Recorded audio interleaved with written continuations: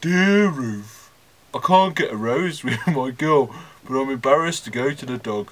I'm 27 and had a good sex life until I developed erection problems recently. I'm sure we can do this. we were joking around at work and a lad said a hot tea bag on the old fella sends the blood rushing to that area, produces a massive, you know what, and keeps you going for ages. I tried it, but it was scalding hot, and all I got was a severe blister, which means I've avoided sex for a week.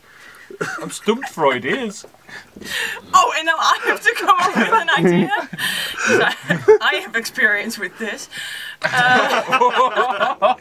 I, I don't know, Scott. maybe maybe you should help out with this one. Do other brands work? Am I using the wrong brand? That's all I want to know. Maybe. It was the oldest brand. I mean, uh, uh, maybe if I use PG Tips, is that the one I should have used? Yorkshire, I, Yorkshire I tea. don't know. Try it. Okay. Thanks for that. Good luck. Right, the last, last one here, Roxy. Um, Dear Deirdre, I've got a crush on David Tennant. I can't get him out of my mind. I've tried thinking he's ugly and a bad person, even though he's a terrorist, but I still feel the same.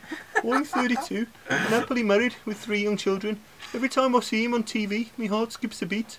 My husband is great. And I sometimes feel stupid about this. sometimes it's like I can hardly breathe. David's face and his piercing eyes are all in my head at the same time. Maybe try to meet him in person, and then if he's like a disappointment, you'll get over your crush. Oh, he's not. I've seen him. I'm not You've allowed seen, to have meet you him anymore. have you talked to him? I've tried to. Yeah. Try to, You but but he, he ignored you. He was he He's was got like, a security man. oh.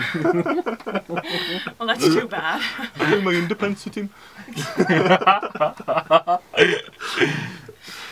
Um, well, then I don't know. I'm, I'm a very good problem solver, apparently. Um, I, I, I don't know. Maybe maybe give your husband a makeover. Yeah, Make him look like David okay, Tennant. yeah, will do. I'll my at him.